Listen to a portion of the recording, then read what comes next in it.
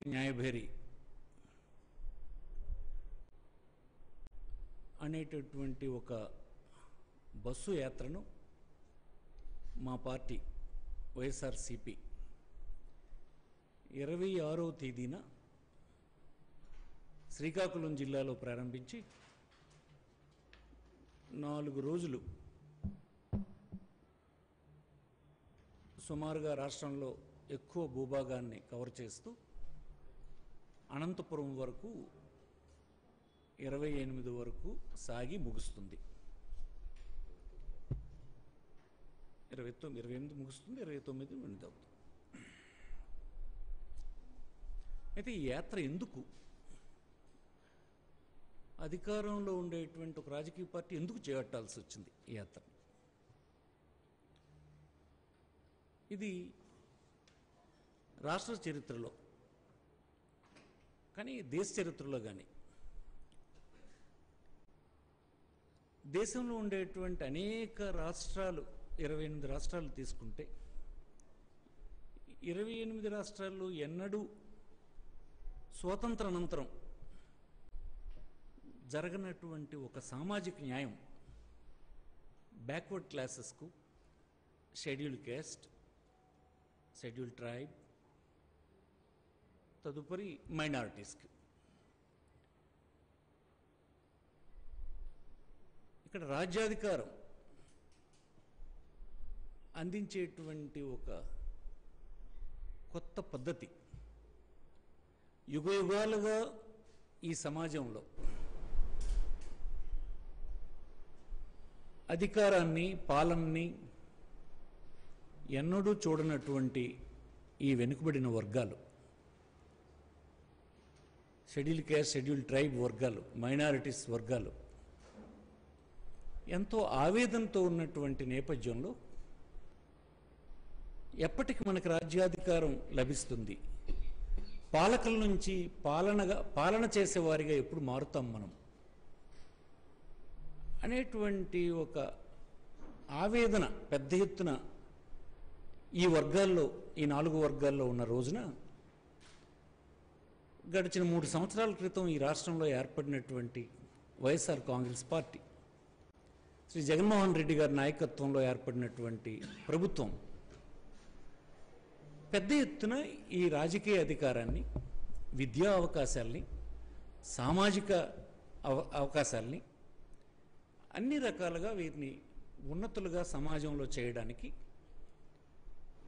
యుగ యుగాలుగా ఉండేటువంటి వారి ఆవేదన తొలగించడానికి వారి ఆత్మఘోషని నివారించడానికి కంకణం కట్టుకొని చేయడం జరిగింది. ఒక రాజకీయ పార్టీగా ఇన్ని దశాబ్దాలు స్వాతంత్రం వచ్చిన తర్వాత అనేక యుగాలుగా బ్రిటిష్ కాలం అంతకుముందు మొఘలుల కాలం ఇంకా పురాతనమైన కాలం ఎప్పుడు కూడా వ్యవసాయ కార్మికులుగాను వృత్తి పనివారుగాను బండ చాకరీ సమాజం కోసం చేస్తూ పాలన అనేది మాకు మాది కాదు మనకు అందనటువంటి దూరంలో ఉంటుంది అనేటువంటి భావన ఈవెన్ స్వాతంత్రం వచ్చిన తర్వాత కూడా ఆవేదంతో ఉన్నటువంటి వర్గాలకి ఒక అధికారాన్ని బదలాయించేటువంటి ఒక ప్రక్రియ. గొప్పగా ఈ రాష్ట్రంలో జరిగింది.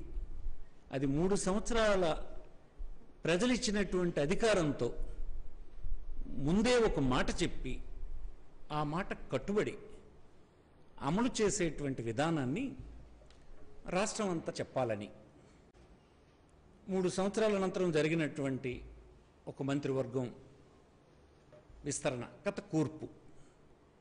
లేదు ప్రభుత్వం ఏర్పడిన వెంటనే వచ్చినటువంటి రాష్ట్ర ప్రభుత్వం. మీరు ఉదాహరణలతో అనేకసార్లు మీరు విన్నారు రాశారు కూడా. ఇవాళ ఇంత తీవ్రంగా మేము ఎందుకు చెప్పాల్సి వస్తుంది? ఒకవైపు అధికారంలో ఉండేటువంటి వారు తనకు అధికారం ఇచ్చినటువంటి ప్రజలకు ఏం చెప్పామో ఏం చేశామో అనేది చెప్పాల్సినటువంటి బాధ్యత కూడా అధికారం పుచ్చుకున్నటువంటి వరకు ఉంటుంది. ఒకటి అదైతే ఇలాంటి వర్గాలని ఎన్నడూ కూడా గౌరవించకుండా మోసగించి కేవలం మాటలు చెప్పి కాలం గడిపినటువంటి గత ప్రభుత్వంలో ఉన్నటువంటి ఒక బృందం మళ్ళీ ఇప్పుడు రాష్ట్ర ప్రజల మధ్యన తిరుగుతూ ఈనాడున్న ప్రభుత్వం ఏమీ చేయలేదని చెప్పి నమ్మించాలన్నటువంటి ఒక ప్రయత్నం మోసగారు ప్రయత్నం చేస్తున్నటువంటి నేపథ్యంలో ఇంకెవరో చెప్పడం ఎందుకు?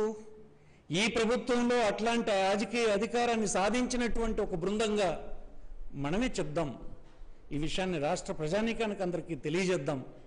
ఇంతటి మార్పు ఈ రాష్ట్రంలో జరిగింది. దేశంలో ఏ ఇతర రాష్ట్రంలో కూడా ఇది జరగలేదు. ఇది యుగయుగాలుగా ఈ వర్గాల తలుగా కోరిక ఆశయం ఆవేదన దీని వెనుకున్నాయి ఇది సక్సెస్ అయ్యిందన్న విషయాన్ని చెప్దాం అన్నటువంటి ఉద్దేశంతోనే ఈనాడు ఈ యాత్ర ప్రారంభించడం జరిగింది. అయితే ఇది శ్రీకాకుళంలో ప్రారంభమై అనంతపురంలో ముగుస్తుంది. బస్సు యాత్ర సాగినప్పుడు అనేక ప్రాంతాల్లో వచ్చి వీరిని కలుస్తున్నటువంటి వారిని కలుస్తారు. కలిసేటప్పుడు వారికి చెప్పాల్సినటువంటి విషయాలు ఏమనంటే చెప్తుంటాం. ఒకరోజు ఒక చోట మాత్రం సుదీర్ఘమైనటువంటి బహిరంగ సభనే. ఈ ప్రభుత్వ భావజాలం ఏంటి? ఎవరి ప్రయోజనాల కోసం ఈ ఈ ఈ బస్సు యాత్ర చేస్తున్నాము? ఈ ప్రభుత్వం ఎవరి ప్రయోజనాల కోసం పనిచేసింది? ఈ ప్రభుత్వం చేసినటువంటి విధాన నిర్ణయాల వలన తీసుకొచ్చిన మార్పుల వలన సమాజంలో వచ్చినటువంటి మార్పులు ఏంటి ఏ సమస్య పరిష్కారం అయింది? ఏ దిశ వైపు ఈ వర్గాలు ఎదుగుతున్నాయి అనేటువంటి విషయాన్ని సుదీర్ఘంగా ఆ ప్రాంతంలో బహిరంగ సభ ద్వారా చెప్పడం జరుగుద్ది. అది ఎవరు పాల్గొంటారు? ఇప్పుడు నేను ఇప్పుడే చెప్పాను. ఎవరో చెప్పడం ఎందుకు? ఎవరైతే ఈ ప్రభుత్వం ఏర్పడిన తర్వాత రాజకీయ అధికారాన్ని చేజిక్కించుకున్నారు తన వర్గాల వారి కోసం అనేక పథకాలను రూపొందించి అమలు చేస్తున్నారు. తన వర్గాల ప్రయోజనాల్ని ఆశల్ని కన్నీరుని ఆకలిని తుడిచి వారిని గొప్పగా నిలబెట్టారు. ఆ వర్గాలే ఇందులో పార్టిసిపేట్ చేస్తే బెటర్ అని చెప్పి మంత్రివర్గంలో ఉండేటువంటి వెనుకబడిన వర్గాలు ఎస్సీ ఎస్టీ మహిళా వర్గ ముస్లిం వర్గాలకు చెందినటువంటి వారం ఇందులో పాల్గొవాలని బస్సు యాత్ర కొనసాగుతున్నప్పుడు ఆ ప్రాంతాల్లో ఉండేటువంటి వారు. ఉదాహరణకు శ్రీకాకుళంలో ప్రారంభమై విజయనగరంలో ఒక బహిరంగ సభ సాయంత్రం జరగబోతుంది ఇరవై ఆరవ తేదీన. ఆ ప్రాంతంలో ఆ రీజన్లో ఉండేటువంటి ఈ ప్రభుత్వ కాలంలో రాజకీయ అధికారాన్ని చేజిక్కించుకున్నటువంటి అనేక ఎంపీలు ఎమ్మెల్యేలు బీసీ వర్గాలకు చెందినటువంటి వాళ్ళు. ఇప్పుడు నేను చెప్పినటువంటి నాలుగు వర్గాలు. BC SC ST minority. Regional coordinators district presidents parliament సభ్యులు శాసన మండలి సభ్యులు శాసనసభ సభ్యులు కార్పొరేషన్ చైర్మన్స్ మండల్ పరిషత్ జిల్లా పరిషత్ మండల్ పరిషత్ ప్రెసిడెంట్స్ ఇట్లా రాజకీయ అధికారం ఈ ప్రభుత్వం నిర్ణయం వలన ఈ ప్రభుత్వ భావజాలం వలన పొందినటువంటి వారందరం కలిసి ఒక చోట చేరి ఇది మిగతా రాష్ట్ర ప్రజానీకానికి తెలియజేద్దాం అన్నది ఈ లక్ష్యం. ఇలాంటి వర్గాలన్నీ ఆయా ప్రాంతాల్లో పాల్గొంటాయి. కానీ మంత్రివర్గంలో ఉండే సభ్యులు మాత్రం కంటిన్యూస్గా ఈ నాలుగు సభల్లోనూ నాలుగు రోజులు పాల్గొనడం జరుగుతుంది. ఆ ప్రాంతాలకు ఈ ప్రభుత్వం ఎన్నికల ముందు ఏం చెప్పింది తర్వాత ఏం జరిగింది మూడు సంవత్సరాల నాడు ఎలా ట్రాన్స్ఫార్మ్ అయ్యింది అధికారం అనేటువంటి విషయాన్ని చెప్తాం. ఇందులో గొప్ప గొప్ప విషయాలన్నీ మీకు ఉన్నాయి డెబ్బై ఏడు శాతం వెనుకబడిన ఎస్సీ ఎస్టీ బీసీ వర్గాలకు మంత్రివర్గంలో చోటు. ఇది ఎప్పుడైనా మన రాష్ట్రంలో మనం విన్నామా? ఒక ప్రాంతంలో ఎక్కడో ఒక బీసీ వర్గానికి చెందిన మంత్రి వస్తే గొప్ప. వీరెవరు అర్హులు కారనేటువంటి భావన ఆనాడున్నటువంటి పాలకులకి. కానీ నేడు పరిస్థితి ఏంటి?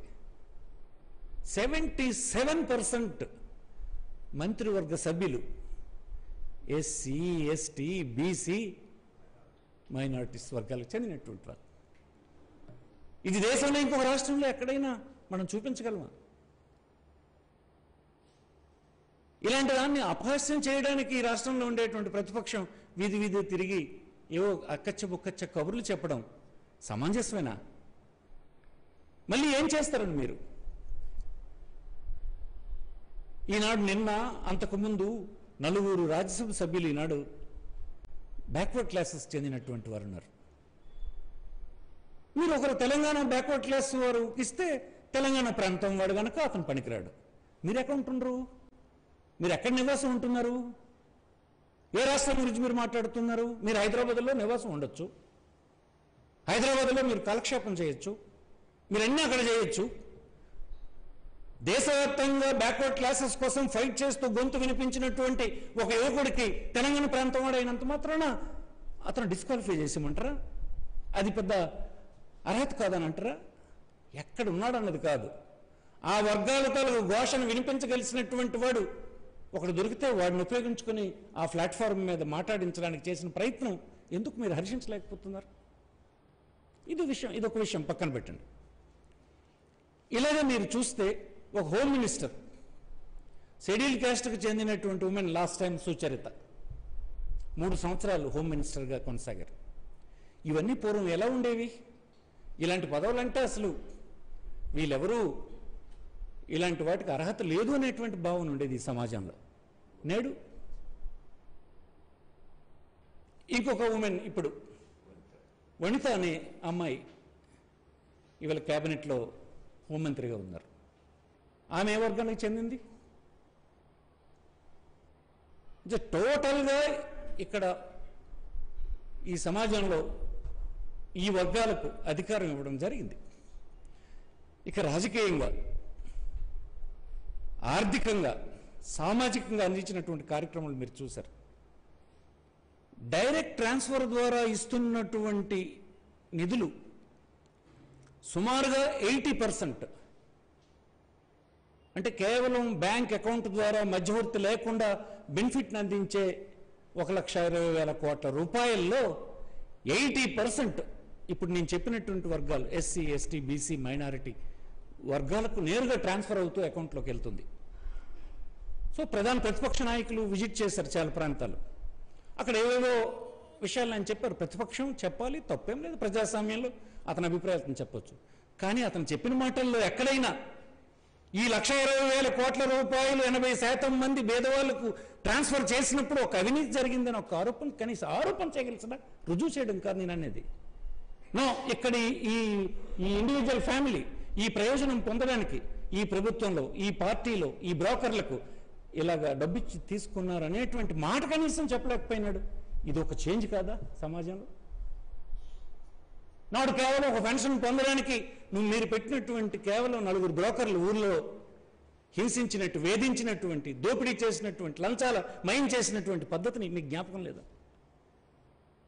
మార్పు అంటే ఏంటి మార్పు? పాలనలో మార్పులు అంటే ఇవన్నీ మీరు గమనించలేకపోతే మార్పు. ఈ వర్గాలకు అధికారం ఇవ్వడం మీకు ఇష్టం లేదు అని అంటే అది నీ భావజాలం అయి ఉండొచ్చు. ఇది యుగయుగాల కోరిక. ఒకరోజుది కాదు. వారు బీదవాళ్ళు గనక వాళ్ళు నిస్సహాయులు గనక వారికి ఇలాంటి ఆవేదనలు మనసులో పెట్టుకుని కుంగిపోతున్నటువంటి వారికి ఒక ఆసరా దొరికింది. అమలు చేసే ఒక నాయకుడు దొరికాడు. అన్నిటిని ఎదిరించి ధైర్యంగా నిలబడేటువంటి ఒక ప్రభుత్వం ఈనాడు వైఎస్ఆర్ ప్రభుత్వం దొరికింది. ఇది కాక ఇతనగాక ఇంకెవరు చేయగలరని అడుగుతున్నాను నేను. ఇంకా అనేక సమస్యలు ఈ రాష్ట్రంలో ఉండొచ్చు. అనేక సమస్యలకు ఇంకా మనం పరిష్కారం చూడాల్సినటువంటి అవసరం ఉండొచ్చు. కానీ ఇది గొప్ప మార్పు కదా. ఇది కూడా మరి మీరు హర్షించలేకపోతే దేన్ని మీరు హర్షిస్తారు? దేన్ని మీరు హర్షిస్తారు? హర్షిస్తారు చెప్పండి. కొంతమంది అంటారు ముఖ్యమంత్రి గారు మీరు బ్యాక్వర్డ్ క్లాస్కి ఇచ్చేస్తారండి మీరు ఇచ్చేసారా? ఎప్పుడైనా ఇచ్చారా మీరు? మీరు ఇవ్వలేదు సార్ ఒక రాజ్యసభ మెంబర్ ఎప్పుడు ఇచ్చే దిక్కు లేదు. ఒక బ్యాక్వర్డ్ క్లాస్కి రాజ్యసభ మెంబర్ ఇచ్చే దిక్కు లేదు. ఇవాళ అనుకుంటే ఇద్దరు బ్యాక్వర్డ్ క్లాస్ ఇప్పుడు కాదు అంతకుముందు ఇద్దరు ఇప్పుడు ఇద్దరు. ఎలాంటి చేంజ్ ఇది? ఈ ఆవేదన ఉన్నటువంటి వర్గాలకి తెలుస్తుంది మీకు తెలియకపోవచ్చు. అనేక దశాబ్దాలుగా అధికారాన్ని అనుభవించినటువంటి మీలాంటి వాళ్ళకి ఇది అర్థం కాకపోవచ్చు. కానీ ఆవేదన ఉన్నటువంటి వర్గాలకు ఇది అర్థమవుతుందని మీకు మనవి చేస్తుంది రాష్ట్రంలో అనేకమైనటువంటి ఇతర సమస్యలు ఉన్నమాట వాస్తవమే. ఇది ఈ రాష్ట్రంలో దేశమంతా దేశం అంతా ఉంది. దేశం అంతా కరోనా వచ్చింది. ఫైనాన్షియల్ క్రైసిస్ వచ్చింది. అన్ని రాష్ట్రాలు అప్పులు చేస్తున్నాయి. ప్రజల డిమాండ్కు సరిపడేటువంటి నిధులు ఏ ప్రభుత్వానికి సమకూరడం లేదు. కేంద్ర ప్రభుత్వానికి ఉన్నాయి రాష్ట్ర ప్రభుత్వానికి ఉన్నాయి. కేంద్ర ప్రభుత్వం రాష్ట్ర ప్రభుత్వాలకి ఇచ్చినటువంటి హామీలు నిలబెట్టుకోవడం కూడా జరగడం లేదు. ఇవన్నీ అందరికీ సంబంధించినవి. ధరలు పెరిగాయి. మీరు ధరలు పెరిగే ధరలు పెరిగాయి. ఏంటి ఒరిస్సాలో తక్కువ ఉన్నాయా? లేదు యూపీలో తక్కువ ఉన్నాయా? మీరు పప్పు ధర తమిళనాడులో తక్కువ ఉందా? ఎక్కడ ఎక్కడని చెప్పండి. ఏ ప్రభుత్వంలో పప్పు ధర నూనె ధర తక్కువ ఉన్నాయేమో చెప్పండి. అన్నీ ఒకేలాగే ఉన్నాయి దేశంలో ఉన్నటువంటి. బీజేపీ పాలిత రాష్ట్రాలు అట్లా ఉన్నాయి ఇతర ప్రాంతీయ పార్టీల రాష్ట్రాలు అట్లా అట్లా ఉన్నాయి. ఒక్క రూపాయి అర పైసా తప్ప ఏమీ తేడా లేదు. అది జగన్మోహన్ రెడ్డి వల్లే ఈ ధరలు పెరిగిపోయినాయని మీరు నమ్మించాలనే ప్రయత్నం అది కేవలం మీ అయినటువంటి ప్రచారమే తప్ప వాస్తవం లేదని మీకు మనం వచ్చేస్తుంది ఇక మీరు చేసినటువంటి గొప్ప ప్రయోజనం వలన ఈ రాష్ట్రంలో వచ్చినటువంటి ఇండస్ట్రీస్ మమ్మల్ని చూడమంటారా? చూసి ఎక్కడైనా సంతోషించమంటారా? చెప్పండి. మీరేది ఏమి? మీరు గొప్ప ఇండస్ట్రీస్ సాధించేసి ఏ సంవత్సరాలు ఈ మూడు సంవత్సరాలు ఏమి చేయలేకపోయింది ప్రభుత్వం చెప్పగలరా? లేదు కదా. గొప్ప పరిశ్రమలు తెచ్చారా? గొప్ప ప్రాజెక్టులను ఎక్కడ తెచ్చారా? ఒక సమస్యను పూర్తిగా పరిష్కరించే పని చేస్తారా? లేదు కదా. అంచేది మీకు అర్హత లేదన్నది నా అభిప్రాయం. మా అందరి అభిప్రాయం. నా అభిప్రాయమే కాదు. మాకు అర్హత ఉందని చెప్తున్నాను. చాలా మార్పులు తెచ్చాం. ప్రతి చిన్న విషయానికి పైసా పైసా లంచాలు చెల్లించుకొని దేవరించి దీనంగా తలెత్తుకోలేని పరిస్థితుల్లో నాకు అధికారం లేదే నాకు కులం లేదే నాకు రాజకీయ బలం లేదే కండ బలం లేదే అని ఆవేదన చెందుతున్న వర్గాలు ఇవాళ ఎవరైనా ఉన్నారా? ఈ ప్రభుత్వంలో ప్రకటించినటువంటి సంక్షేమ పథకమైన అందుకోవడానికి గర్వంగా నా కాన్స్టిట్యూషన్ ఇచ్చినటువంటి రైట్లో ఫీల్ అయ్యి అందుకుంటున్నారే? ఇది చేంజ్ కాదా? ముఖ్య మాజీ ముఖ్యమంత్రి గారు జవాబు చెప్పాలి దీనికి. ఇది చేంజ్ అని మీకు అనిపించదా? ఇలాంటి వర్గాలకు అందజేస్తున్నటువంటి సంక్షేమ పథకాలు లక్ష ఇరవై వేల కోట్లు ఖర్చు పెడితే ఒక రూపాయి కూడా కరప్షన్ జరగలేదని వచ్చినటువంటి గొప్ప పేరు ఇది చేంజ్ కదా? మీరు చేయలేకపోయినారు ఇది? దయచేసి ఊరకనే మాట్లాడడం వల్ల ప్రయోజనం లేదు. మీ వెనక మీరు సాధించినటువంటి కార్యక్రమాలు ఏంటో మీరు చూసుకోండి. ఫెయిల్యూర్ గవర్నమెంట్ను ఫైవ్ ఇయర్స్ మీరు నడిపారు. ఏ ఒక్క రంగానూ సక్సెస్ఫుల్గా మీరు చేశారన్నది మీకు రికార్డు లేదు. ఈ ప్రభుత్వానికి ఉంది. అనేక సామాజిక మార్పుల్ని యుగ యుగాలు ఉండేటువంటి ఆవేదనని తొలగించేటువంటి ప్రయత్నం జరిగింది. ఇది మీరు అంగీకరించక తప్పదు. ఈ యాత్ర ఇలాగే సాగుతుంది. ఈ రాష్ట్రంలో అర్థం కానటువంటి వారందరికీ అర్థమయ్యేటట్టుగా వివరించడానికి ప్రయత్నం చేస్తారు ఒక ఇంత సామాజిక ఇలాంటి సామాజిక వర్గాల్లో ఈ విషయాలు వెనుకున్నటువంటి కృషి ఈ విషయాలు వెనుకున్నటువంటి భావజాలం ఈ విషయాలు వెనుకున్నటువంటి చరిత్ర అంత వేగం అర్థం కాకపోవచ్చు. కానీ మేము బాధ్యత తీసుకోవాల్సినటువంటి అవసరం ఉంది. మాలాంటి వారు అందరం వాళ్ళని ఎడ్యుకేట్ చేసి ఈ మార్పు కారణం జగన్మోహన్ రెడ్డి ప్రభుత్వాన్ని చెప్పాల్సినటువంటి అవసరం ఉందని ఈ బస్సు యాత్రను మేము ప్రారంభించాం. నాలుగు రోజులు చేస్తాం. చూస్తాం. ఇది రాజకీయ పార్టీ అతి సహజమైనటువంటి ఒక ప్రయత్నం. అధికారులు ఉన్నాడు ఏం చేస్తామన్నది ప్రజలకు చెప్పాల్సినటువంటి బాధ్యత అధికారం ఉన్నాడుకు ఉంటుంది. సేమ్ టైం ప్రతిపక్షాలు ఇతరులు చెప్పినటువంటి మాటల్ని వాస్తవాలు ఏంటి అన్నది మేము వివరించాల్సినటువంటి బాధ్యత కూడా మా మీద ఉంది. ఒక ఆరోపణ చేసినప్పుడు ఆరోపణను వివరించే పని చేస్తాం. దట్స్ ఆల్ నువ్వు మాట్లాడు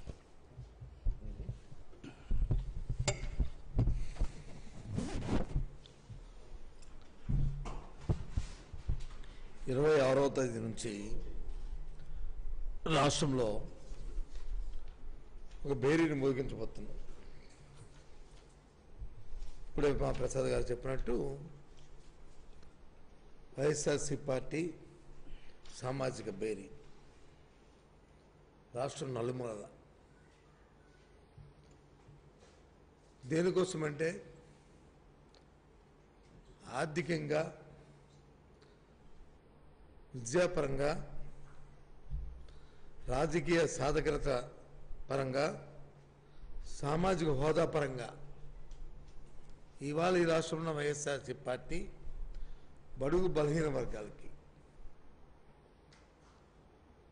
ఎస్సీ బీసీ మైనారిటీ అందరికీ ఏ విధంగా రాజ్యాధికారాన్ని సముచితంగా ఎప్పుడో అనాదిగా ప్రసాద్ గారు చెప్పిన కోరుకుంటున్న ఆ రాజ్యాధికారాన్ని మరి మా ముఖ్యమంత్రి జగన్మోహన్ రెడ్డి గారు ఇవాళ చేతల్లో మాటల్లో కాకుండా చేతల్లో చేసి చూపెట్టిన అంశాన్ని ఇవాళ రేపు ఇరవై తారీఖు ఇరవై ఆరు ఇరవై ఏడు ఇరవై ఎనిమిది ఇరవై తొమ్మిది రాష్ట్రంలో నలుమూలలా పర్యటించి ఈ ప్రభుత్వంలో ఉన్న పదిహేడు మంది మంత్రులు ఈ నాలుగు వర్గాలకు సంబంధించిన క్యాబినెట్లో మంత్రులు అందరం. మాతో పాటు ఈ ప్రభుత్వంలో పార్టీ పరంగా పార్టీ పరంగా ఎన్నుకోబడిన అన్ని స్థాయిల్లో ఉన్న వ్యక్తులు ప- ప్రభుత్వంతో నియమించబడిన ఈ నాలుగు సంబంధించిన అందరం కలిసికట్టుగా ఈ యాత్ర చేయబోతున్నాం. బాబాసాహెబ్ అంబేద్కర్ గారు ఏం చెప్పారో ఆ రోజు రాజ్యాంగాన్ని సమసమాజం కావాలని కోరారు. ఆ సమసమాజం రావాలంటే అందు పరిపాలన అందరూ భాగస్వాములు కావాలి. ఆ రోజే భాగస్వాములు అయింపడే గొంతెత్తి మా అంశాలు ఇవి మా పరిస్థితి ఇవి దీనికి పరిష్కారాలు కావాలని కోరుకున్న నాడే సమసమాజం సమన్యాయం జరుగుతుందని వాళ్ళు ఏం చెప్పారు? గొంతెత్తకు ముందే కోరక ముందే ఇవాళ జగన్మోహన్ రెడ్డి గారు చేసి అది చూపెట్టి ఈ అంశాన్ని రాష్ట్రం నలుమూలలో చెప్పాలనే ఇవాళ రేపు మేము ఇరవై ఇరవై ఆరో తారీఖు నుంచి నాలుగు రోజులు ఈ పర్యటిస్తుంది. ఈ నాలుగు రోజులతో అయిపోయిన అంశం కాదు. ఇంకా తర్వాత కూడా. ఎందుకంటే ఈ సామాజిక న్యాయం కోసం కట్టుబడి ఉన్న ఈ ప్రభుత్వం జగన్మోహన్ రెడ్డి గారి నాయకత్వంలో ఉన్న ఈ ప్రభుత్వం వైఎస్ఆర్సీ ప్రభుత్వం ఈ ఈ ఇంతకుముందు నాయకులు కూడా చెప్పారు. నేను చూశాను అంతకుముందు. ఓ మంత్రివర్గాలు జరిగితే ముప్పై మూడు శాతం ఈ ఈ సామాజిక వర్గాలకు ఎస్సీ ఎస్టీ మైనార్టీ బీసీ ముప్పై శాతం ఇచ్చారు ఇరవై శాతం ఇచ్చారు నలభై శాతం గొప్ప గొప్పలు చెప్పుకునేవారు. ఇవాళ డెబ్బై ఏడు శాతం. ఇది ఎప్పుడు ఊహించలేని అంశం. ఇదేదో ఎన్నికలు అయిన తర్వాత ఏదో చెప్తున్న ఓటు బ్యాంక్ రాజకీయాలని ఎన్నికల కోసమని మళ్ళీ ఆలోచన చేస్తూ చేస్తున్న అంశం కాదు. ఎన్నికలకు ముందే ఏదైతే ఏ- ఏలూరులో బలహీన వర్గాల డిక్లరేషన్ ఏదైతే ఆ రోజు జరిగిందో ఆ రోజు చెప్పారో ఆ రోజే ప్రకటించారు. రాబోయే ప్రభుత్వం సముద్ర స్థానం కల్పిస్తాను భాగస్వామ్యం కల్పిస్తాను రాజ్యాంగంలో భాగస్వామ్యం చేస్తాను ఇస్తానని ఆ రోజు మాట మీద ఈరోజు జరుగుతుంది ఇదంతా కూడా. టోటల్ ఈ ప్రభుత్వం చేసిన పనుల్ని ప్రభుత్వం చేసిన అంశాలని పెద్ద ముందు తీసుకెళ్ళడానికి యాత్ర. ఇవాళ చంద్రబాబు నాయుడు కూడా తిరుగుతున్నాడు. ఊరు వాడ తిరుగుతున్నాడు. రోజు మా పార్టీ మీద మా మీద వ్యక్తిగతంగా మా నాయకుడి మీద వే- వే- ఆరోపణలు చేస్తూ ఏకవచనంతో మాట్లాడుతూ దుర్భాషలు ఆడుతూ ఆయన చేస్తున్న అది అది ఆయన ఆయన విచక్షణ అది. ఆయన తాలూకా ఆలోచన. ఏ రోజైనా ఇలాంటి కార్యక్రమాన్ని ఇంకో మా ప్రభుత్వం చేసిందని పాజిటివ్ మైండ్లో ఇది ఎన్నిసార్లు తెలుగుదేశం పార్టీ రాష్ట్రం ఎప్పుడైనా తిరిగి తిరిగిన పరిస్థితులు ఎప్పుడైనా ఉన్నాయా అని అడుగుతున్నాను. ఇప్పుడు లేవు. ఎందుకంటే ఉండడానికి కూడా ఒకటిలే అంశం. ఎందుకంటే ఎప్పుడు ఏం చేయలేదు కాబట్టి. ఎంతసేపు ఏదో గాడి మాటలు చెప్పుకోవడం తిరిగేది కాబట్టి ఎప్పుడు అలాంటి పరిస్థితులు ఎప్పుడు చేయలే. ఇవాళ ధైర్యంగా ఈ రాష్ట్రంలో ఉన్న అట్టడుగు వర్గాలు అన్ని అందరం కూడా సంబంధించిన అందరం కూడా ఆర్థికంగా సామాజిక పరంగా అందరూ కలిసికట్టుగా ఇవాళ జగన్మోహన్ రెడ్డి గారు చేసిన ముఖ్యమంత్రి గారు ఈ చేసిన ఈ ప్రక్రియని అందుకే భేరీ అని పెట్టాం. భేరీ అంటే ఒక ధని అనిపించి ఇగో ఈ ఊరు ఇది చేస్తున్నామని చెప్పబోయేది. అందుకే ఆ ధని ఆ- ఆ ధ్వని అక్కడికి వెళ్ళి ఈ ఆయా ఆయా ప్రాంతాల్లో వస్తున్న దారి కూడా దారి పొడుగు పొడుగున ఈ కార్యక్రమాలని రాష్ట్రం అంతా కూడా అటు శ్రీకాకుళం నుంచి మరి అనంతపూర్ అనంతపురం వరకు ఈ యాత్ర జరుగుతుంది. పూర్తిగా ఇది ఈ యాత్ర. అందరూ కూడా ఈ వంశాన్ని మీ ద్వారా మా మా అందరికీ ఎవరికి ఇది ఏం కబురు చెప్పక్కలే లేదా పిలుపు ఇవ్వక్క చెప్పక్కలే ఇదే పిలుపు. ఇది ప్రతి ఒక్కరి మనసుల్లోనూ కూడా ఉంది. ఇప్పుడు చాలామంది మా పే- మా కవులు చెప్పారు పెద్ద పెద్ద పురకారులు చెప్పారు అందరూ చెప్పారు. మాకు రాజ్యాధికారం కావాలి రాజ్యాధికారం ఇంకో రాజ్యాధికారం ఉంది. ఇలా అలాంటి రాజ్యాధికారాన్ని ఇవాళ జగన్మోహన్ రెడ్డి గారు ఇవాళ ఇచ్చారు? సరే ఎవరో ఎవరో ఒకరో ఇద్దరు ఏదో తెలుగుదేశం పార్టీ ప్రతిపక్ష పార్టీ మరి వాళ్ళు విమర్శించకపోతే వాళ్ళు ఏం సాధువులు కాదు కదా వాళ్ళు కూడా ఏదో మాట్లాడాలి కాబట్టి ఏదో మాట్లాడుతున్నారు. మాట్లాడే ముందు మనమేటది కూడా ఆలోచన చేసుకోవాలి. మనం ఏం చేసాం మనం అధికారంలో ఉన్నప్పుడు ఏం ఏం చేసాం ఏ ప్రక్రియ చేసామని కూడా ఆలోచించుకోవాలి. వాళ్ళకి అది అక్కర్లే. ఇవాళ ఒకటి ఇరవై ఆరు ఇరవై ఏడు ఇరవై ఆరు విజయ విజయ శ్రీకాకుళంలో ప్రారంభమవుతుంది. విజయనగరంలో ప్రతిరోజు సాయంత్రం బహిరంగ సభ ఉంటుంది. ఇరవై ఆరులో విజయనగరంలో బహిరంగ సభ ఉంటుంది. ఇరవై ఏడు రాజమండ్రిలో బహిరంగ సభ ఉంటుంది. ఇరవై ఇరవై ఎనిమిది బ- ఒక బహిరంగ సభ ఉంటుంది. ఇరవై తొమ్మిది అనంతపూర్లో బహిరంగ సభ ఉండి ఈ ఫస్ట్ ఫేస్ దీనికి సంబంధించి ఇది అక్కడితో ముగిస్తుంది ముగిస్తుంది ఇది ఈ కార్యక్రమం. ఓకే ఒకటితోటి ఆల్రెడీ ఎదురు ప్రజలంతా అడ్డుపడుతున్నారు కొంతమంది గా- ఇస్తున్నారు ఇప్పుడు ఈ బస్ యాత్రలో కూడా అలాగే అడ్డుపడుతున్నారా? ఎవరున్నారు అడ్డుపడుతున్నారు ఎవరున్నారు అడ్డు యనమల రామకృష్ణ అంటే యనమల రామకృష్ణ అంటే సరే యనమల రామకృష్ణుడు అంటున్నాడు అంటే యనమల రామ అడ్డుపడుతున్నాడు ఎవరు? ఆయన మాట అనిస్తే అయిపోతుందా? నేను మూడు వారం రూపాయలు తిరుగుతాను ఎక్కడ అడ్డుకోలేదు? అడ్డుపడమని ఆయన కోరిక. అది. దాని మనసు ఆయన బాధ. ఆకాంక్ష. What is that correct? ఆకాంక్ష. అలాగే రేపు అడ్డుకోండి ఆయన అను అనుకుంటున్నాడు. ఈ మాటలు అంటే నవ్విపోతారు ఇంకా అయిపోతుంది ఎందుకంటే ఒక బలహీన వర్గం వాడు. ఆయన కూడా ఒక బలహీన వర్గం వాడు. సరే ఏ పార్టీలో ఉన్నప్పటికీ కూడా. ఆయన ఉన్న పార్టీలో ఆయన ఆయన ఉన్నప్పుడు ఈ సామాజిక కావాలని కావాలని ఎందుకు ప్రయత్నం చేయలేదు? ఎందుకు జరగలేదు? ఎందుకు ఆ నాయకుని అడగలేకపోతున్నాడు? ఏమయ్యా నువ్వు ఏం చేసావు? అని చెప్పి ఎందుకు చంద్రబాబు నాయుడు అడగలేదు? ఆయనకు ఒక్కడికి ఓ పదవి ఇస్తే అందరికి మొత్తం దేశం అందరికి ఇచ్చినట్ట? కాదు కదా?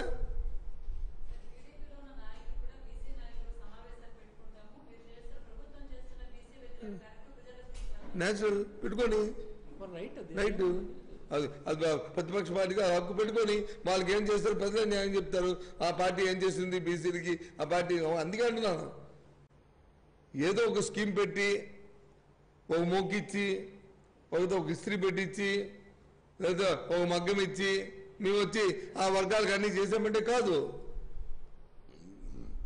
ఆ- ఆ వర్గాల తాలూకా మనుషులను ఆకాంక్షలను ఆకాంక్షలు ఏదైతే బయటికి వ్యక్తపరిచే అవకాశాన్ని ఇస్తూ వారి కార్యక్రమాన్ని వారికి కావాల్సిన అవసరాన్ని ప్రభుత్వ పరంగా వాళ్ళు తీర్చుకునే పరిస్థితిని కల్పిస్తూ చేసినాడే ఆ వర్గాలకు సంతృప్తి. అంతేగాని ఓ మొగ్గు చెక్కమంటే దాంతో అందరూ అయిపోతారంటే కాదు కదా. ఇవాళ ఇవాళ వైఎస్ఆర్ చెప్పేసి జగన్మోహన్ రెడ్డి ఆ పని చేస్తున్నారు. ఇవాళ ఇవాళ వేణు ఉన్నా ప్రసాద్ ఉన్నా నేను ఉన్నా లేకపోతే మా మందిరాలు ఉన్నా ఎవరున్నా మా నాగార్జున ఉన్నా ఇంకెవరున్నా సరే. మేము మా వర్గాల కోసం పోరాడడానికి మాకు ఈ కార్యక్రమాలు చేస్తుంది ఇది మాకు మౌకి ఇచ్చో లేకపోతే మా ఇది ఇచ్చో అంటే కాదు కదా అది. ఓట్ల బ్యాంకు? రాజకీయం రాజకీయ పార్టీయే రాజకీయాల కోసం చేస్తుంది? రాజకీయ పార్టీ వచ్చి ముళ్ళు ఎత్తే తపస్సు చేసుకుంటారు వెళ్ళి ఎక్కడో దగ్గర. చంద్రబాబు ఎందుకు తిరుగుతున్నాడు రోజును దేనికి తిరుగుతున్నాడు? ఎందుకు మనకు అమ్మ మన గొప్ప వెళ్ళి మూడు రోజులు కూర్చోండి నేను మళ్ళీ రెండు నెలలకి రెండు నెలలకు వస్తాను ఎందుకు చెప్పాడు? దేని కోసం చెప్పాడు చెప్పండి. దానికి ఏమి నాకు అర్థం చెప్తే అప్పుడు నేను చెప్తాను అర్థం. రెండు గొప్ప ఎందుకు రెండు? ఈ మధ్యలో ఈ మధ్యకాలంలో రెండు మూడు సార్లు గొప్ప ఎందుకు వెళ్ళాడు చెప్తే చెప్తాను. కూడా ఏంది? మేబీ. మేబీ ఒక పదవి ఇస్తే మాకు ఇరవై పదిహేడు మందికి ఇరవై ఏడు మంది ఇరవై ఏడు మంది ఉంటే క్యాబినెట్లో పదిహేడు మందికి మా మంత్రులు ఇచ్చామంటే అధికారంతో ఉన్న బాధ్యత ఇస్తే ఇది నామినేట్ పదవి ఇచ్చారని చెప్తావేటమ్మా? సాక్షాత్తు గవర్నర్ దగ్గర ప్రమాణ స్వీకారం చేసి పాలనాధికారం. పాలనాధికారం ఇచ్చి మా కార్యక్రమాలు ఏమైనా మాకు మేము మేము చేసుకునే హక్కును మాకు కల్పిస్తే దీనికి దానికి కంపెనీ నువ్వు నువ్వు నువ్వు ఒక చాలా సీనియర్ కదా? నువ్వు విలేవి కదా? నీకు తెలియదా పాలనాధికారానికి నువ్వు నామినేట్ దానికి ఎంత వ్యత్యాసం ఉంటుందో? అని చెప్తా అందుకే అంటున్నానమ్మా. అది నేను నేర్పల్లి ఒకసారి అడుగుంటే అప్పుడు మళ్ళీ అలాంటి అలాంటి కబుర్లు చెప్పకపోను. దేనికి వస్తే ముద్ద వస్తే? దేనికి వస్తే ముద్ద మాకు ఐదు సంవత్సరాలు అధికారం ఇచ్చారు ప్రజలు. ఐదు సంవత్సరాలు పరిపాలించమని అవకాశం ఇచ్చారు ప్రజలు. దేనికోసం వస్తే చంద్రబాబు నాయుడికి కావాలి ముందస్తు ఎన్నికలు. మొన్న అడిగాడు మున్సిపల్ ఎలక్షన్ జరుగుతుంది రమ్మంటే ఎలక్షన్ పెట్టండి. మీకు చేత కాదు. పంచాయతీ ఎన్నికలు మీరు వచ్చి ఇది ఇదే ఏమైంది? అయిపోయిన తర్వాత కిక్కు కక్కు మనకంట ఎక్కడ కనీసం సౌండ్ లేకుండా ఇంట్లో కూర్చున్నాడు. ఆయన చెప్పు నిజమా కదా? అవద్దా? రేపు కూడా జరిగేది అదే. ఇరవై నాలుగు వెయిట్ చేయమని ఇరవై నాలుగు ఎన్నికలు వస్తాయి. అప్పుడు అప్పుడు తెలిసిపోతుంది అతను సొంత అతని బలమా బాప అది ఏంటో వ్యవహారం అని తెలిసిపోతుంది. తెలుస్తుంది విషయాన్ని అంతటి కూడా. ఇవన్నీ వాస్తవం కాదు. అయినా ఇప్పటికీ ఇరవై ఆరవ తారీఖు నుంచి వైఎస్ఆర్సీపీ పా- మా పార్టీ సామాజిక న్యాయమేరి బస్సు యాత్రని పదిహేడు మంది మంత్రులు మాతో పాటు ఎన్నుకోబడిన రాజ్యాంగబద్ధంగా ఎన్నుకో ఎన్నుకోబడిన ఎంపీలు ఎమ్మెల్యేలు ఎమ్మెల్సీలు మా మా కార్పొరేషన్ చైర్మన్లు మా మున్సిపల్ చైర్మన్లు ఎంపీపీలు జడ్పీటీసీలు అందరూ కూడా ఈవెన్ సర్పంచ్ నుంచి ఎంపీటీసీ వరకు అందరూ వాటితో పాటు నా ప్రభుత్వం చే నామినేట్ చేయబడిన అందరూ కూడా కార్పొరేషన్ చైర్మన్లు డైరెక్టర్లు మొత్తం అందరూ కూడా ఆయా ప్రాంతాల్లో జరుగుతున్నప్పుడు వాళ్ళందరూ అవుతారు. మొత్తం అందరూ వెలుగెత్తి ఈ సామాజిక పరంగా ఈ ప్రభుత్వం ఏ ఏ- స్థానం ఇచ్చింది ఏం చేసింది ఇంకా ఏం చేయబోతుందో అన్ని అంశాలన్నింటినీ కూడా ఇవాళ రేపు చెప్పబోతున్నాం అని కూడా.